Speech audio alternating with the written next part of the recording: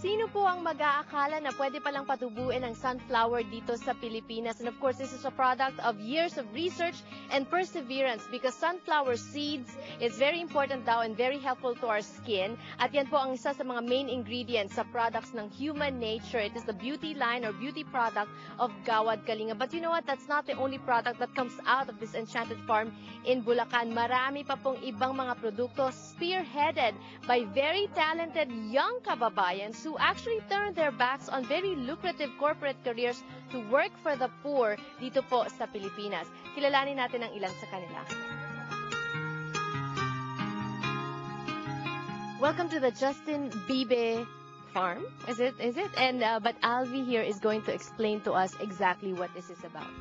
This right here is uh, part of the Gawad Kalinga Social Enterprise Program called CSI. And what I am, I am here as a social entrepreneur here to help end poverty through social entrepreneurship. The thing is, Alvie, you, you are so young. You look young and you are so young. You're still in college. What are you doing here? That is a long story, and uh, I call myself crazy for being here. uh, But it really, I really believe it was divine intervention. I believe someone really brought me here, and it was God. And I was just really influenced by Tito Tony to be here and to get out of my comfort zone and learn how to run a business. Hence, it's that's why it's called a village university because we're here to learn what we don't learn in the classroom, but actually apply it and learn through experience. And tell me about how this has changed your life. Yeah, uh, this whole summer we were here every day just uh, worrying about what feeds to buy them. At one point, I even bought them hog feeds instead of duck feeds, and I was make it. I'm really here to make all the mistakes that I can to learn, and it's really part of that that uh, theory of Gawad Kalinga of the way to end poverty is to connect yourself to the ground. You know, if you if you want to achieve success, bring the others with you. So that's what this whole experience is about: is connecting to the ground and to the people from the ground. And this duck farm is here for what purpose? This duck farm is here for to showcase uh, the best in the Philippines, the best salted eggs in the Philippines, and hence we paint them yellow. We color them yellow to symbolize that story that it's not your regular salted egg. It's itlog dilaw because it's it tells a story, the story of success. Billy, you know, we all know that the Philippines were not really a country of entrepreneurs. And uh, most people really just go to school wanting to look for a job outside of the Philippines. Why do you think that is? Like with you, uh, if not for Gawad Kalinga, if, if, if your eyes weren't open, you probably were thinking of that as well or considering that as well. But what what should we do in order to encourage more people to get into business? Actually, I think uh, from what uh, Tito Tony has been telling us for the past uh, year, uh, it's mainly due to the fact that we we were blinded by the potential of our country. Because uh, right now, I don't think a lot of young people really know what their country is about. Because most of them actually just uh, even uh, for the Manileños, I mean, they, they, they love Manila, they, they want the party, they uh, shop and whatever, and those who live in the provinces actually just want to eventually go to Manila, and that, that's the case.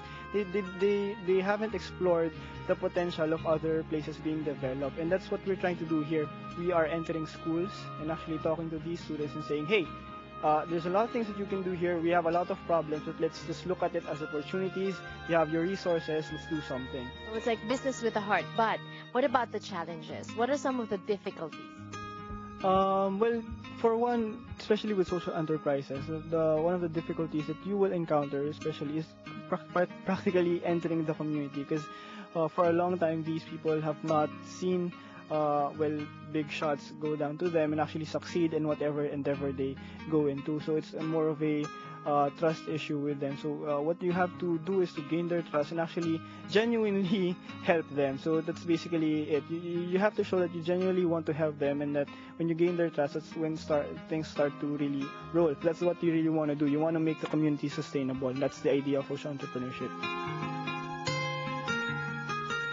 Cherrie, you also have an, a much more interesting story on how you came to this place. Tell me about that. Actually, I worked with GK as a volunteer na full-time uh, agriculturist for almost four years since uh, 2007. I met uh, Tito Tony Meloto when I was uh, um, when I joined a competition of the 10 outstanding students of the Philippines. And then when I was there, after that, I was hired by Ayala Land Company. I work as a landscape horticulturist. But when I did a lot of landscaping, high-end landscaping, really hot spots in Manila, I realized that I think I'm not really in a direction that I'm not helping the poor. So I joined GK and um, we started the Bayan Anihan. It's the food sufficiency program of Gawad Kalinga because we're not only building homes, we're building really communities.